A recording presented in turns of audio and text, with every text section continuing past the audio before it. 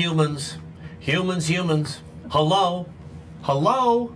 Are you there? Hello, hello. Oh, you are there. Oh, I'm so glad you are because guess what?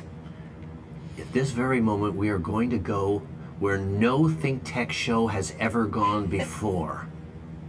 We're going to go be below the equatorial belt line. We are going to go into a region which every human being can relate to.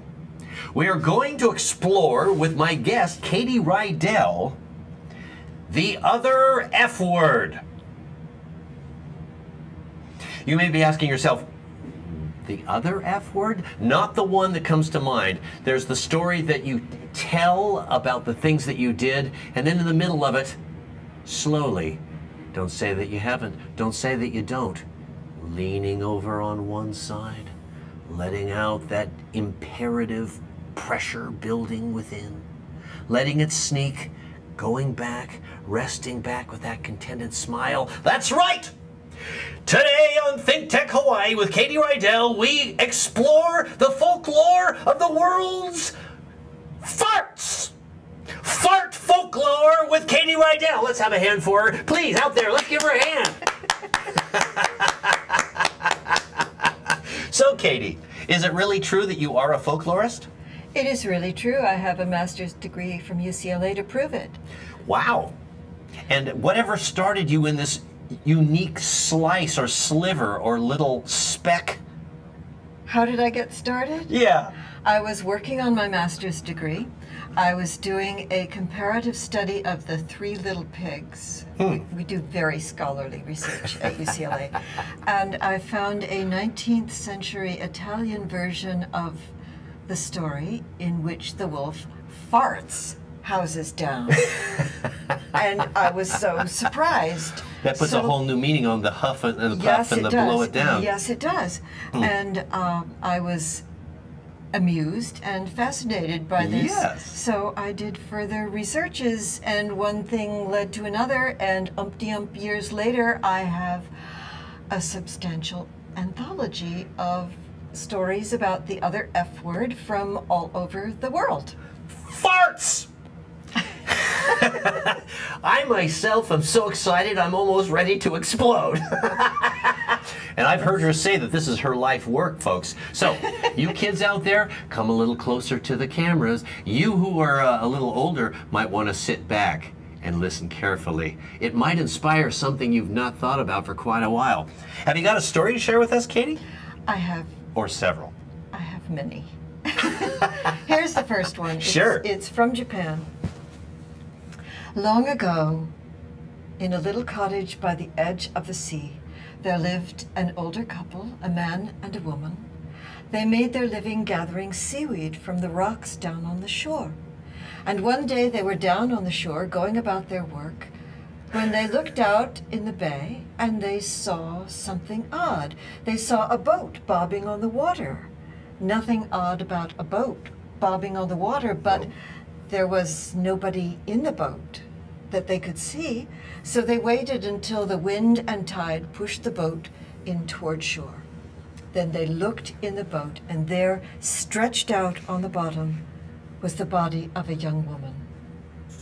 She was still breathing, still alive, but she had clearly been at sea for a long time. Her hair and her face and her kimono were encrusted with salt. Her skin was scorched and burnt and blistered from the sun. But she was alive, so the old couple helped her out of the boat. They took her back to their cottage, they nursed her back to health, and then they could see three things about this young woman. They could see from the fabric of her kimono that she came from wealth. They could see from her face that she was very beautiful and they could see from her belly that she was pregnant. Well, she clearly had no place to go in the world, and the older couple had always wanted a child, so they welcomed this young woman into their home, treated her as though she were their own daughter.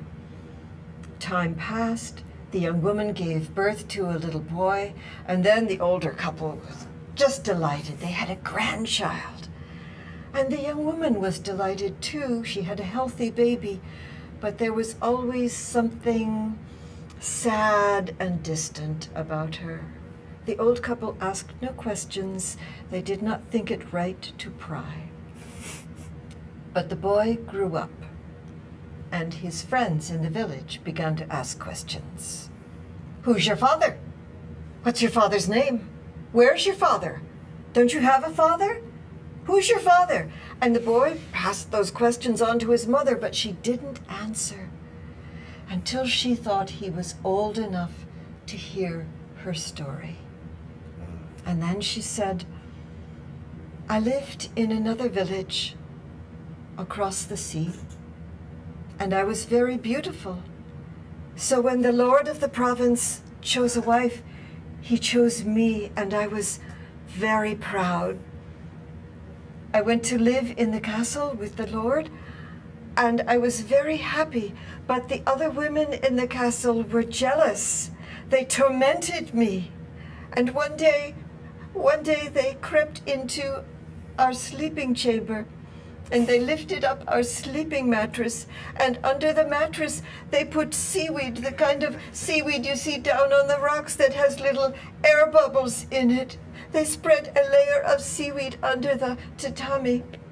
And that night when my lord and i lay down on the sleeping mattress those little air bubbles popped open and made noises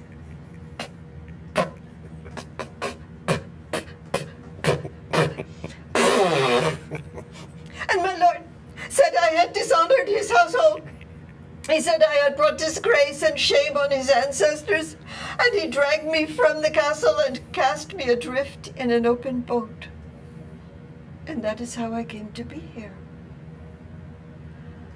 And the boy thought about that story until he decided he was old enough to travel.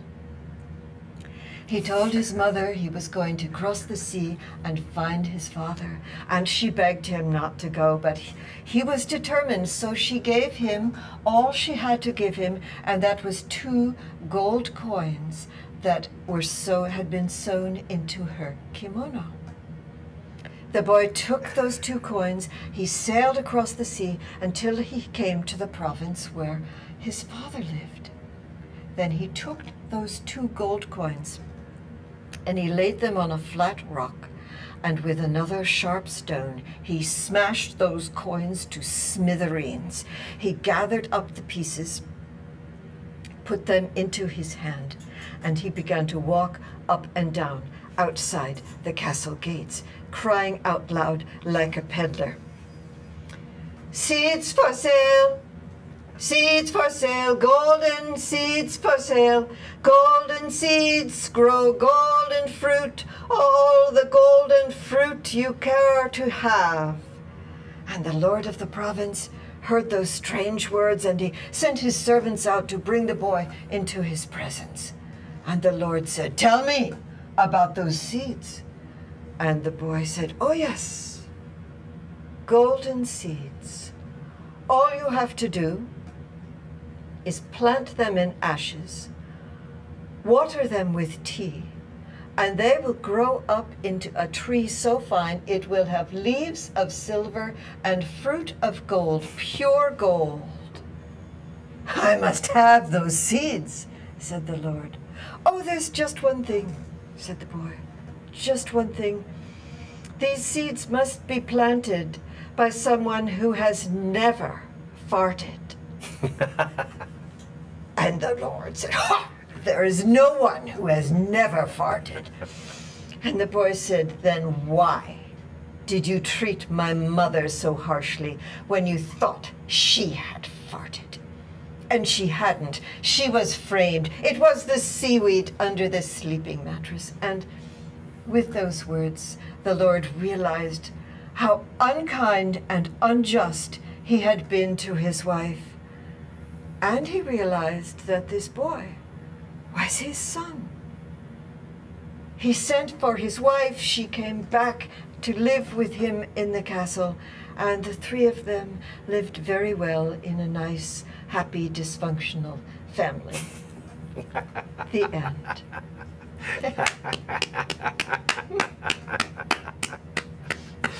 So if you've never farted, that's a story for you. And who among us would dare say you have never passed gas? If you haven't, you're dead. There you go. It's only those who never eat that never fart. It's a good thing to remember when you think about the common denominator that makes us all together. So, uh, are there some uh, other things? I mean, that story must provoke a lot of comments from the, the many audiences that hear it. Yes, it has. I hear a lot of uh, personal reminiscences um, and a lot of uh, tidbits that, as word has gotten around, that I collect fart lore people have sent me over the years. But right now, I would like to tell another story. Well, hold that thought. Okay. Because now it's time for Think Tech to Hawaii to take a little break to ease the pressure within. We'll get back to you right away.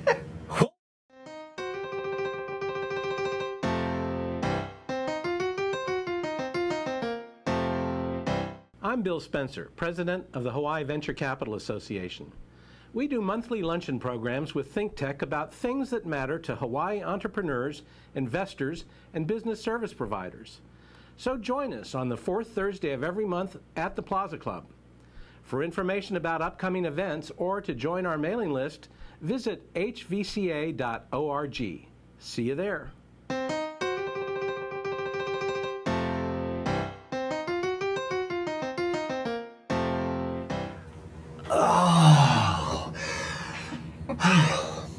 I'm much relieved for that break. And now I'm glad you're back with us because we're here with the specialist of folklore pertaining to the lower quadrant farts. Katy Rydell, all the way from Maine, here in Honolulu, to be part of the just finished Fringe 3 Performance Art Festival, which raged through Honolulu. She did a couple of shows. People were beside themselves with tears, enjoying the guffaws and the cacophony of joy. And she just was saying during the break, she's not done yet. Aren't you glad? All right, All right. let's go to France. Here's a story. Many, many versions of this story, but this particular one comes from the 19th century. It's the story of Jean l'imbécile, Jean the idiot. Jean was out cutting wood one day. He was cutting a branch off a tree. Unfortunately, he was sitting on the branch he was cutting and he had the saw between him and the trunk of the tree. So he was sawing off his own perch. At that moment, a stranger walked by and looked up at what Jean was doing and said, Young man, you are about to have a great fall. And Jean the idiot said, oh, I know what I am doing. And he went on with his sawing. And two seconds later, he sawed through the branch and branch, and Jean went tumbling to the ground. And as Jean picked himself up, he began to realize, whoa, that man could predict that I was going to fall. Maybe he can predict when I'm going to die. And he went running after the stranger. He said, Excuse me, monsieur, monsieur, monsieur, can you tell me when I'm going to die? And the stranger looked at Jean and said, Yes, I think you are going to die when your donkey has farted three times. Whoa! That was an interesting bit of information. And Jean was very pleased to know that, but then he began to panic because his donkey ate grass all the time and his donkey got gas all the time and his donkey farted all the time. Jean was all of a sudden in a panic. He ran back to his house and there was his donkey tied up on a grassy patch in front of the house. And Jean was totally freaked out because right then, at that very moment, the donkey let one go. Oh! One down, two more to go. Jean was totally freaked out, and his donkey let another one go. And Jean was terrified. Oh my God, I'm almost dead. I'm almost dead. But then he saw a little piece of cork lying in the front yard, and Jean got a brilliant idea. It was such a brilliant idea. He picked up the cork, he got a hammer, and he hammered that cork into the donkey's backside. Oh, phew. safe. Now I can live forever. However, once those gases reach one's lower intestine, there's only one place for them to go, and that's out. And the gas built up in the donkey and built up and built up and built up until finally the donkey was able to expel the cork. the cork went flying through the air, hit Jean with such velocity that it drilled a hole right through him from one side to the other and killed him dead, thus fulfilling the prophecy that he would die when his donkey had farted three times.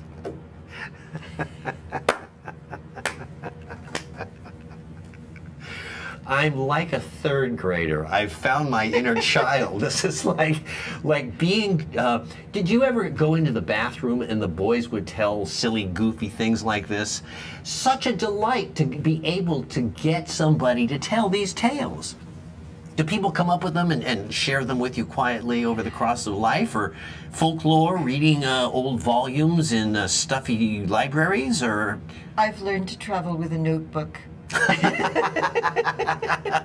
so as to seize the moment, as yeah, it were. Yeah, people will come up with just delightful little gems, and I collect all of it: family proverbs, um, as well as stories, and bumper stickers, you name it. Oh, for instance. bumper stickers. Yeah. Ah. what if the whole world farted at once? That's a good one.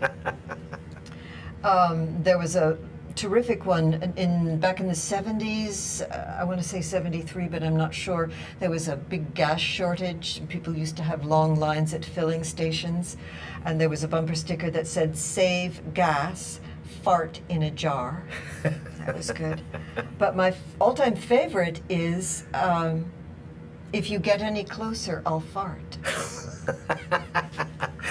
How's Thanks for the warning. How's that for deterring people from driving too close? Personal I'd- space. I'd back up. I'd back up further. yeah, yeah, yeah. yeah.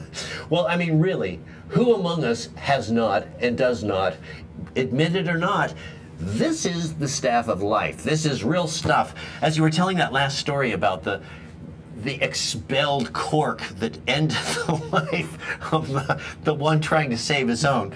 Uh, I'm thinking like of, of peasants in a uh, you know a manger with lots of hay and animals where this is quite common, trying to come up with stories to entertain themselves, their children, and the collection of people huddled around a fire trying to stay warm. Folk Sure. and the kind of tales that would make us, uh, in a way, the kind of anonymous geniuses that that that create this, and and the fun uh, that it, that it adds to life, and the admission that in fact we all have these. Uh, We are all human, and believe it or not, humans are animals. I know some people don't always believe that, but it's true. case in point, another Yeah. story. yeah, yeah, yeah, yeah. Um, I gave a performance in San Diego one time in which I told just one story on this topic. And a few weeks later, I got a little, actually a big envelope in the mail from a man named Bill Johnson who lived in Alpine, California. And he had a little granddaughter named Raya who had come to my concert. And they had both enjoyed that particular fart story very much. So to entertain his, his granddaughter uh, at Christmas, which was coming up, Bill Johnson had written this next story, uh, which I think is a little literary gem. yes. Once upon a time, in the little town of Alpine, there was a young girl named Raya. And Christmas was coming, and she was very excited that Christmas was coming because her Christmas, Santa Claus presents, but also her family would be gathering, and she had a beloved grandmother who would be coming. And her beloved grandmother would be bringing Raya's favorite food, which was baked beans. Now, Raya knew what these beans did her to her gastrointestinal tract, but she loved them so much she always ate too many, and then there was a price to be paid afterwards. So, but she knew that. Whatever. Her grandmother came. She brought the baked beans. Raya ate too many. They were so delicious. How could she not? But then the uh, after effects began to set in and her mother said, Raya, why don't you go for a walk? And Raya went outside, which was a good place for her to go, and began to walk down the street. Now, the neighbors and her friends all up and down the street knew what these beans did to Raya when she ate too many of them. And so they all knew what was happening as these, it sounded like a gun battle going on out in the streets first there were the sounds that Raya was making, and then there were the sounds of everybody slamming their doors and windows to keep the, the sound and the smells out. And Raya was so upset when everybody was slamming all their windows. She went back to her house in tears. And her mother looked at her poor little daughter in tears said, Oh, sweetie, come here. Raya said, Oh, Mom, don't, don't, don't. But it's too late. Her mother gave her a little hug to comfort her, and that pressure around her body just caused an ex- certain expulsion. And because the mother was holding on to Raya, the two of them shot up and banged against the ceiling of the kitchen. They both hurt their heads. And uh, Raya's mother said, maybe, maybe you'd better just go to bed early. So so Raya did. She went upstairs to her room and tried to go to sleep, but she was pretty unhappy. And she was still making these sounds and emitting these odors. And uh, late that night, she heard bells up on the roof. She thought, oh, Santa Claus. Um, Sure enough, the reindeer and the sleigh and Santa settled down on the roof. Now, as it happened, Santa had a cold that year, so he didn't smell anything bad, but Santa's reindeer did not have colds, and they could smell these aromas coming up from Raya's house. And Santa stepped out of the sleigh to deliver the packages, and the smells just got to the reindeer, and they couldn't handle it anymore. They just took off into the night sky, just shh, off like a rocket. And Santa was up there yelling, Dasher, Dancer, come back here. And of course, they didn't. Um, and Raya heard all this commotion and she knew what was going on.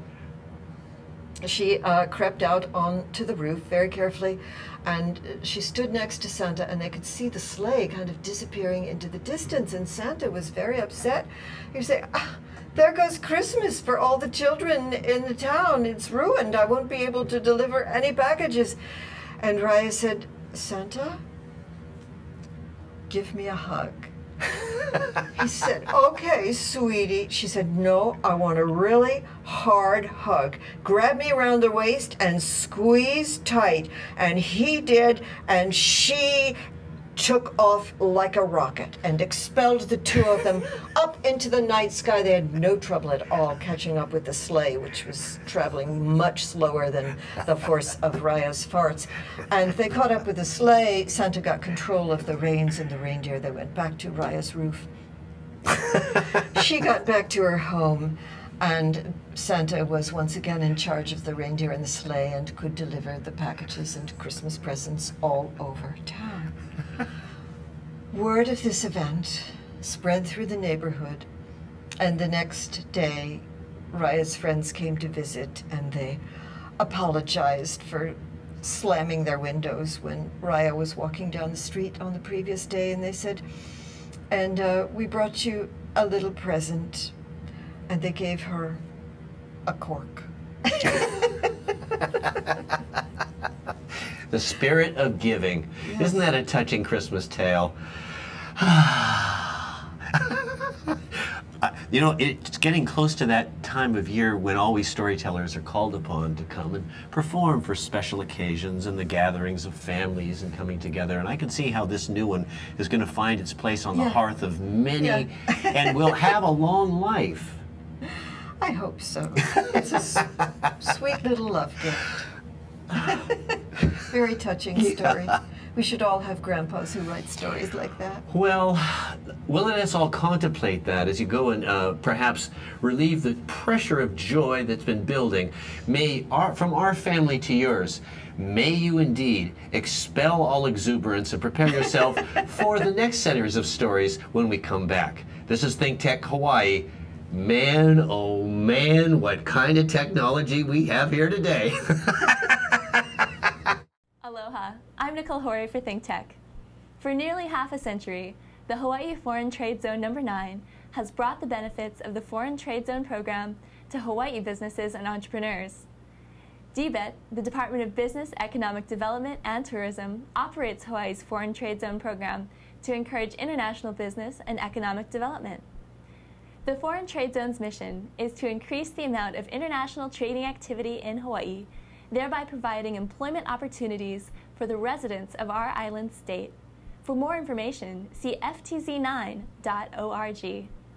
I'm Nicole Hori. Mahalo. Good evening. We're delighted that you've come to us today. We are here for Think Tech Hawaii. Important issues, important people, people who talk too much. It's all right. You haven't got anything else to do.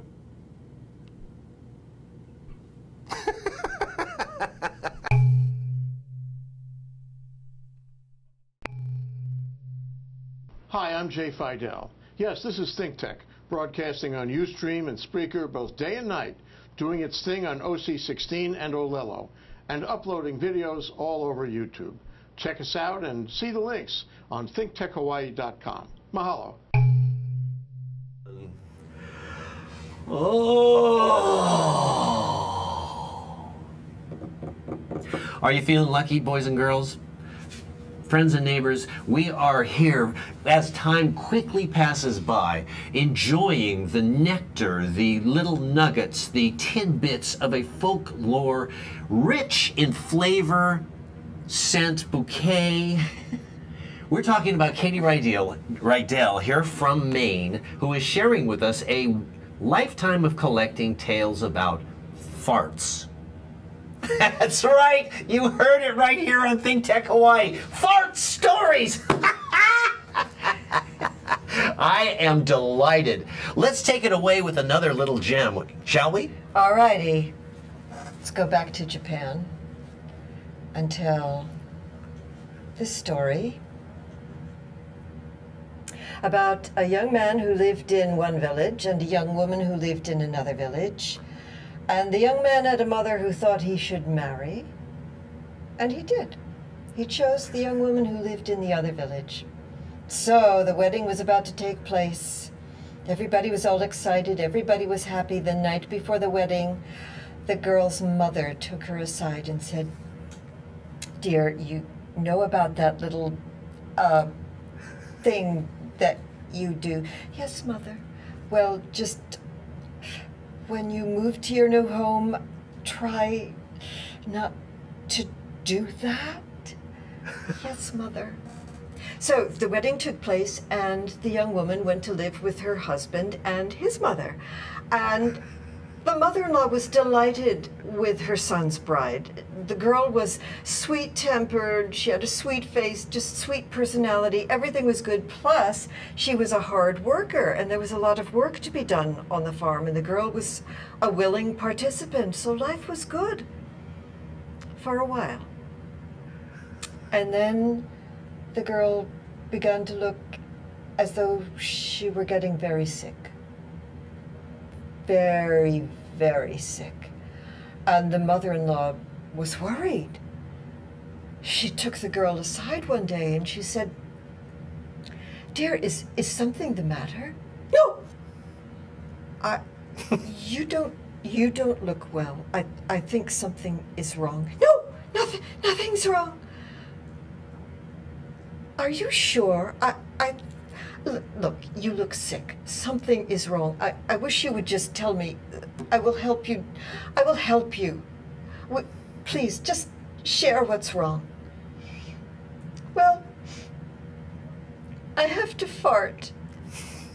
And the mother-in-law rolled her eyes and said, "Oh, for heaven's sake, just go ahead and do it." No, no, you you don't understand. Of course I understand. We are all human. Look, we live on a farm. Look at what the animals are doing. Just go ahead and do it. Okay, but I think you'd better grab hold of something. Can you just grab hold of that post holding up the roof? Just grab hold of it. Oh, for heaven's sake. But the grand, the mother-in-law was willing to humor the daughter-in-law, and so she grabbed hold of the post, and the girl finally let it go. She'd been saving up for a while, and the gas that had accumulated was under high pressure. when it finally came out, it was like having a typhoon in the house. There is no way anybody on the planet could have held on to anything. The mother-in-law went sailing out through the door, loopity-loop through the air, came down, ploof, in the middle of a turnip field. She picked herself up, went to find her son, she said, You've got to take her home. You've got to get that girl out of her. She's a health hazard. She is dangerous. we cannot afford to have her in our household. Take her back, take her back, take her back. And the young man was very sad. He liked his wife, but when he heard the story, he could see how it could be dangerous to keep her around. So they packed up her things and he began to escort her back to her home village. But it was a long way. And on their journey, they passed through a village. A typhoon had recently passed through, not the one generated by the young woman, but a storm typhoon. And it had knocked over the centerpiece of the village.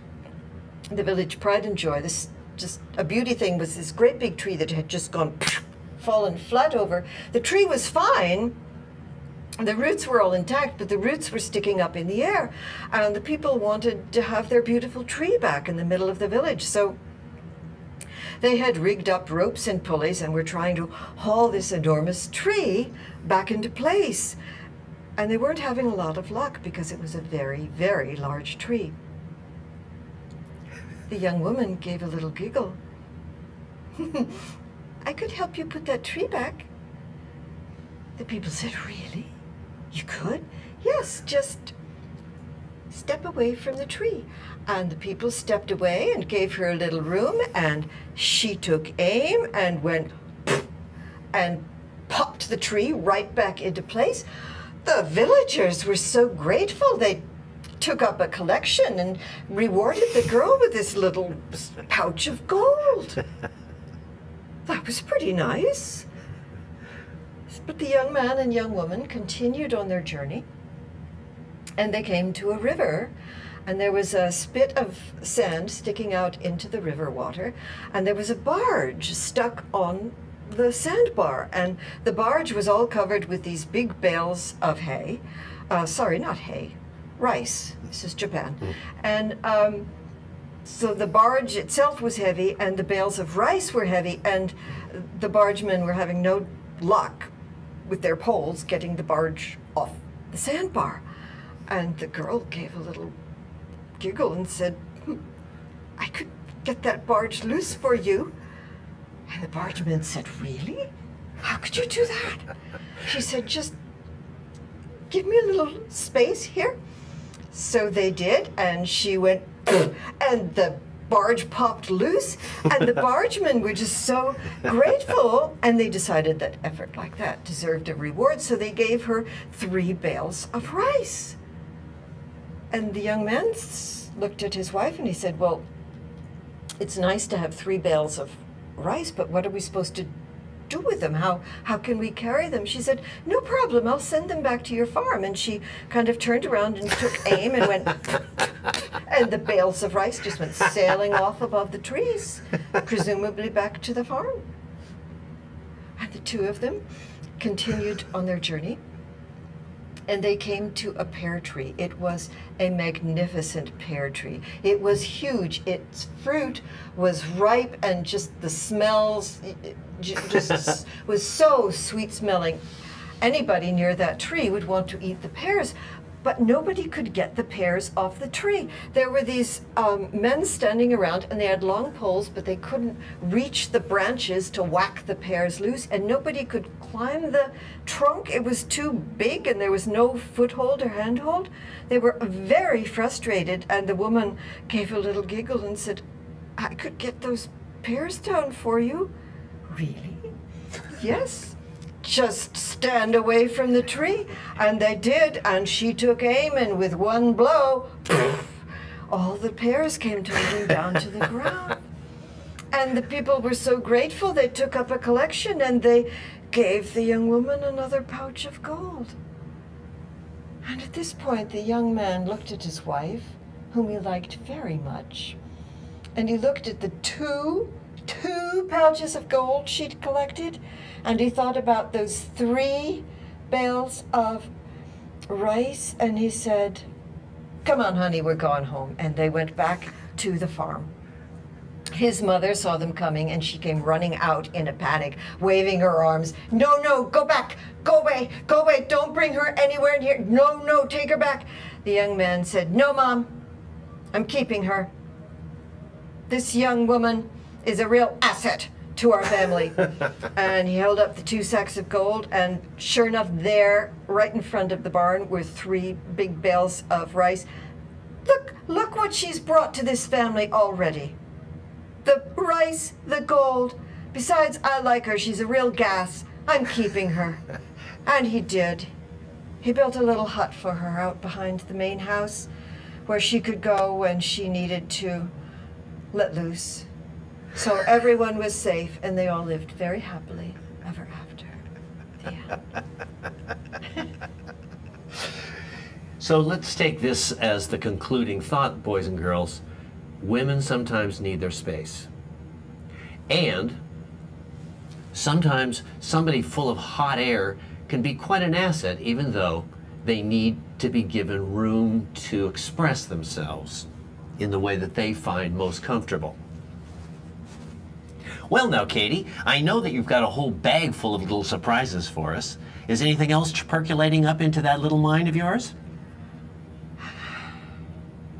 There's always Throckmorton. Throckmorton. Please do tell.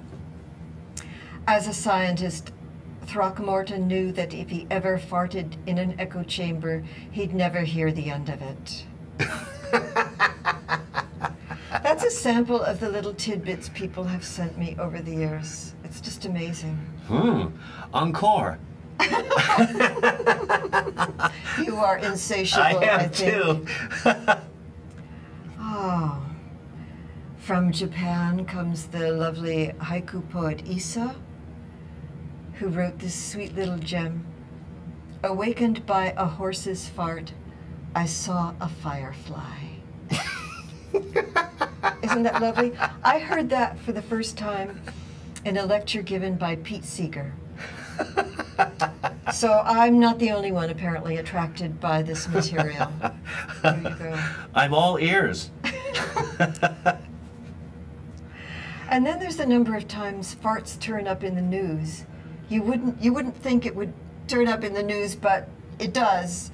Um, what's a recent story from Leicester, England?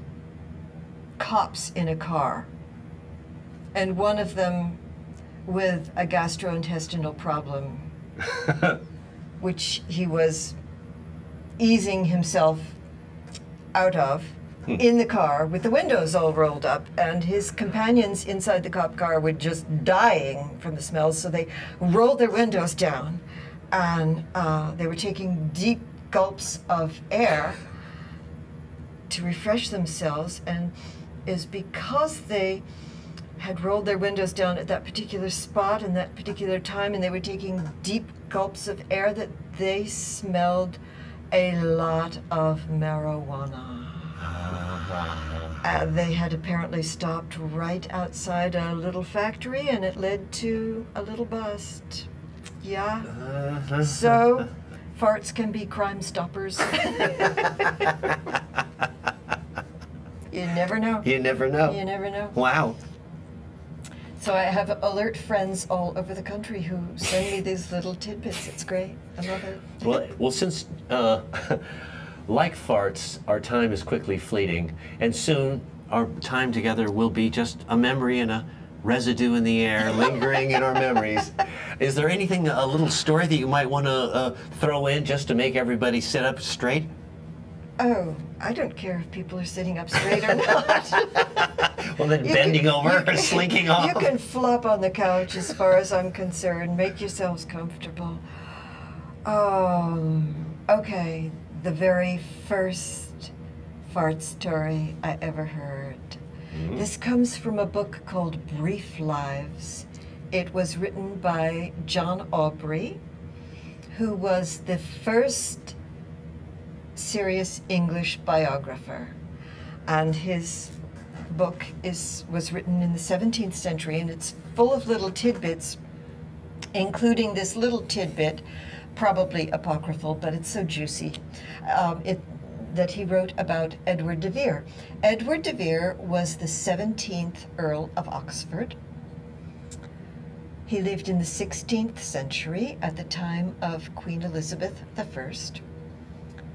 and so he was part of her court. And one day, in making his low obeisance before the queen, he let pass a fart which resounded around the room. So abashed and ashamed was Sir Edward that he left the court and traveled abroad for seven years until at last he summoned the courage to go back to court.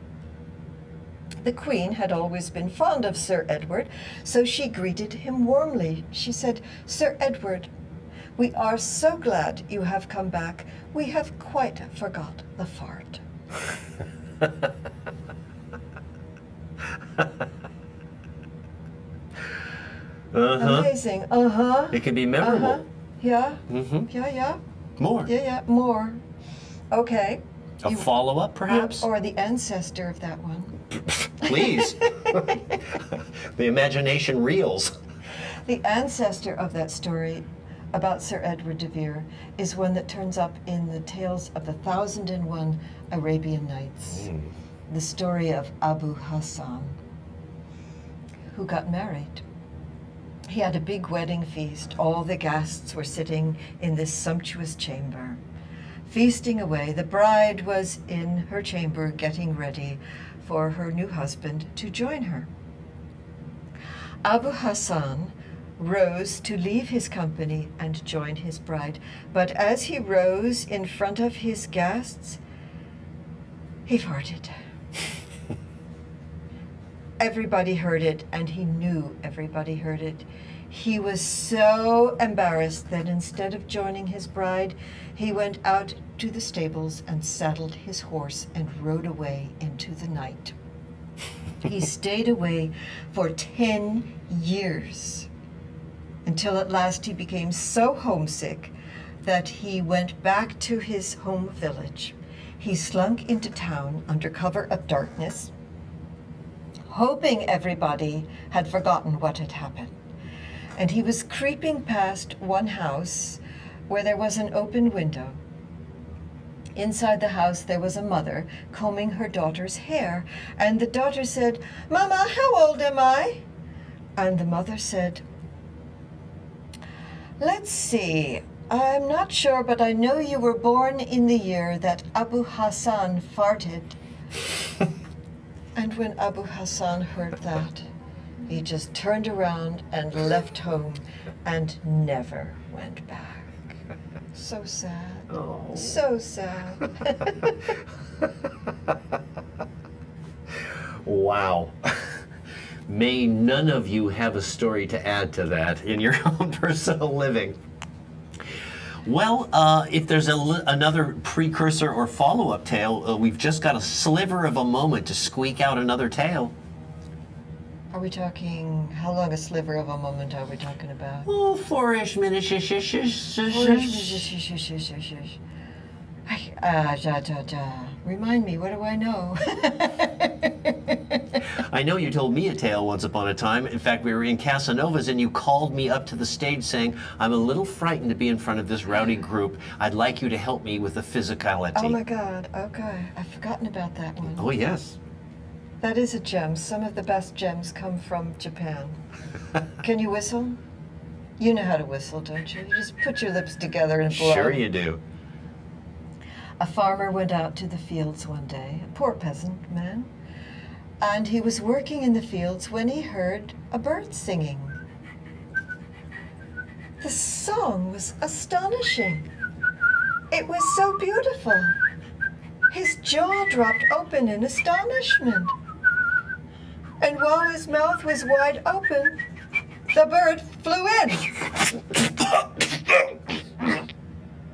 He had a bird inside him, and he first he tried to spit it out again, and that did not work. So he was kind of trying to help the bird work its way down through his digestive tract and hoping to expel it out the other end.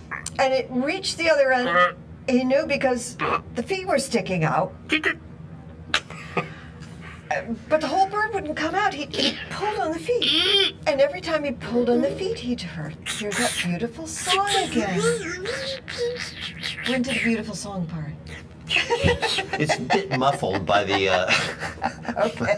the tones within. Okay. He got home and he told his wife what had happened. And she kind of bent down to look and she pulled on the feet and she heard the beautiful music.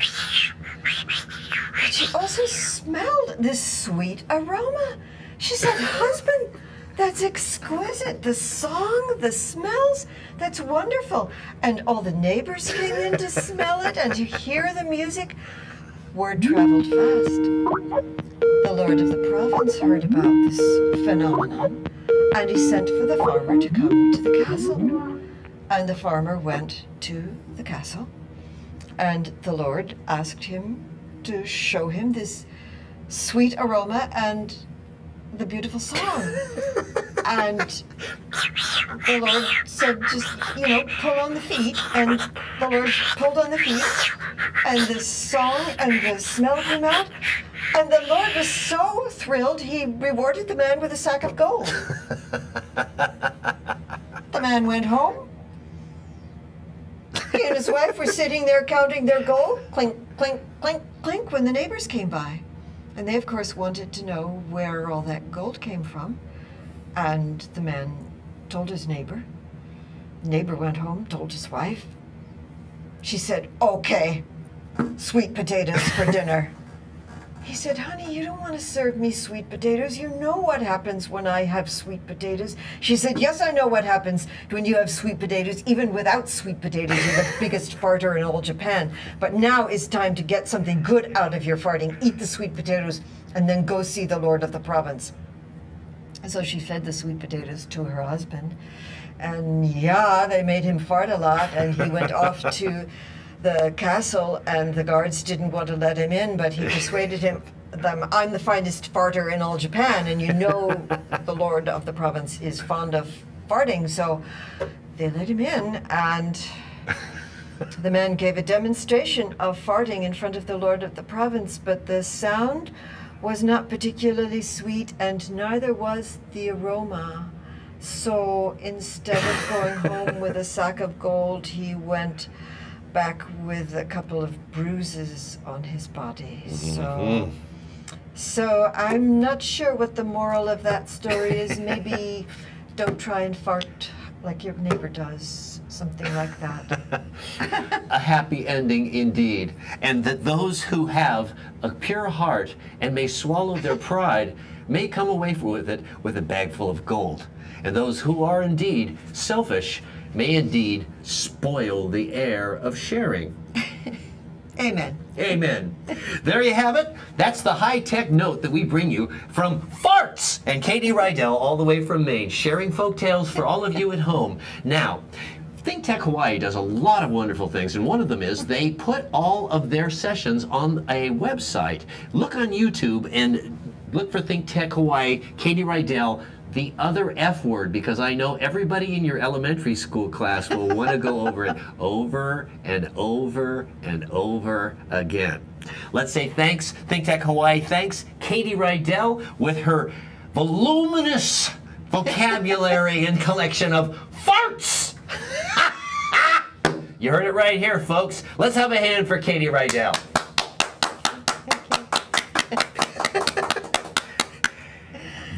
Baby, that's entertainment, don't you think?